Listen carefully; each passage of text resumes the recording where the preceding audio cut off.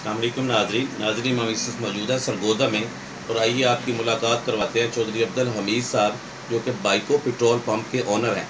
اور ان سے پوچھتے ہیں کہ دہشت گردی کے حوالے سے حکومت پاکستان کو کیا اقدامات اٹھانے چاہیے، جس سے دہشت گردی کا مکمل طور پر خاتمہ ہو جائے۔ السلام علیکم بھائی صاحب۔ جی، جو السلام۔ میرے خیال میں دہشت گردی کے حوالے سے پہلے سے ہم کافی بہتر ہیں۔ اس حکومت نے بڑا اچھا کام کیا دہشت گردی کے حوالے سے۔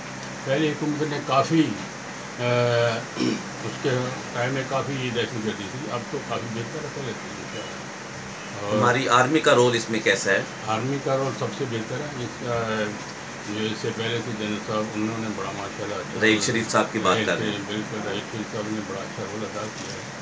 اور اب بھی ماشاء اللہ کافی بہتر ہے قمر جوید باجوہ صاحب اچھی کاوش کر رہے ہیں۔ کر رہے ہیں۔ اللہ تعالیٰ ان کو ملی رہی بڑا اچھا کام ہو رہا ہے۔ میرے پاکستان میں میرے خیال میں اب پہلے سے کافی بہتر ہے۔ ہاں تقریباً لاسٹ ٹائم حکومت کی رپورٹ تھی ایٹی فائیو پرسینٹ کمی آئی ہے دہشت گردی میں۔ نہیں ابھی کافی بہتر ہے۔ پہلے جس طرح سندھ میں رینجر آپریشن ہو رہا ہے کیا پنجاب میں بھی رینجر آپریشن ہونا چاہیے؟ نہیں رینجر پنجاب میں اس کی کوئی ضرورت نہیں ہے۔ کیونکہ پاک پنجاب میں اتنی زیادہ نہیں دہشت گردی اتنا جتنا کہ کراچی میں تھی۔ بھائی صاحب، آپ بزنس مین ہیں تو ایک پروجیکٹ شروع کیا ہے، چائنا اور پاکستان نے مل کے جیسے سی پیک کا نام بھی دیا گیا ہے، چائنا اقتصادی راداری کا نام بھی دیا گیا ہے۔ اس میں معاشی ترقی کتنے فائدہ ہوگا؟ پاکستان کے لیے میرے خیال یہ سب سے بڑا اچھا اور بہترین پروجیکٹ ہے۔ اور یہ پاکستان کے لیے ایک ریڑھ کی ہڈی کا ہوگا۔ انشاءاللہ جب یہ سی پیک مکمل ہو گیا، انشاءاللہ پاکستان کے حالات بہت بہتر ہو گئے بجلی کی لوڈ شیڈنگ کی کیا پوزیشن ہے اس وقت؟ لوڈ شیڈنگ کی تو دیکھو نا جی ابھی تک جب تک نہ کوئی جب تک کا نیا ڈیم نہیں بنا۔ جب تک نیا ڈیم نہیں بنتے یا نیا نیا پروجیکٹ نہیں لگتے وہ بھی ایسے ہی رہے۔ کیونکہ میں نے محسوس کیا سرگودے میں کوئی بجلی خاصی جا رہی ہے۔ سرگودا گئی سارے میں ہر جگہ ہر بجلی کا کافی بحران ہے۔ لیکن وہ ٹھیک نہیں ہو سکا۔ نہیں ابھی تک ٹھیک نہیں ہوگا نا جی ابھی جنریٹر چلا کے ابھی دو دن کے لیے چار دن کے لیے پوری کر لیں گے تو پوری نہیں ہوگی۔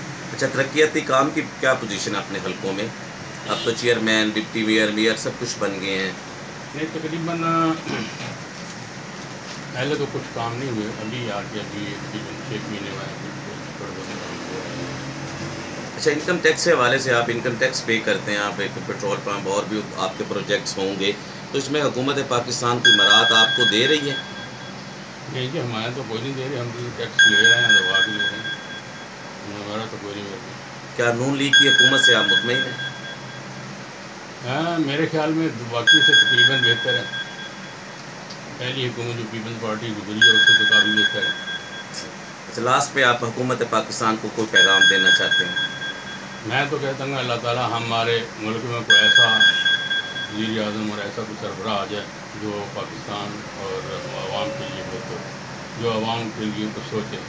آج تک تو کوئی بھی نہیں ہے ایسا جو کہ ہر آدمی اپنی خود کے لیے سوچتا ہے اور اپنے لیے سوچتا۔ ہے پاکستان عوام کے لیے کچھ نہیں صرف باتیں کرتے ہیں۔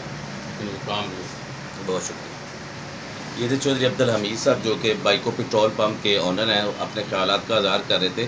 ان کا کہنا تھا کہ ایک تو بجلی کی لوڈ شیڈنگ کی ویسی کی ویسی پوزیشن ہے۔ ظاہر ہے کوئی ڈیم نہیں بنے گی تو وہ لوڈ شیڈنگ کو کیسا کور کیا جائے گا۔ دوسرا جو ہے حکومت پاکستان میں کہتے ہیں کہ وزیر اعظم صاحب جو بھی آئیں وہ ملک کے لیے اچھا کریں، عوام کے لیے اچھا کریں۔ ملک ایک ترقی کی طرف جائے گا تو پھر تو ہے پاکستان۔ کیمرہ مین ملک عمر کے ساتھ doctor Naveed Berochi, Punjab C N N Urdu U S